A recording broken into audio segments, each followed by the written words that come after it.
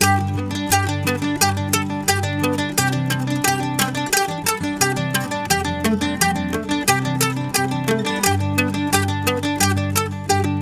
ஓவராலாக இந்த வீட்டோட மொத்த ஸ்கொயர் ஃபீட் பார்த்தீங்கன்னா ரெண்டாயிரத்தி நானூறு.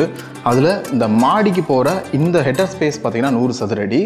கிரவுண்ட் ஃப்ளோர் ஆயிரத்தி இரநூறு சதுரடி. ஃபஸ்ட் ஃப்ளோர் பார்த்தீங்கன்னா ஆயிரத்தி நூறு சதுரடி. இந்த வீடு அவங்க கம்ப்ளீட் பண்ணுறதுக்கு ஸ்ட்ரக்சராக ஒரு கம்ப்ளீட்டாக பார்த்தீங்கன்னா நாற்பது லட்ச ரூபா செலவாயிருக்கு. அது போக ஓவராலாக எல்லாம் சேர்த்து அறுபது லட்ச ரூபா செலவாயிருக்கு.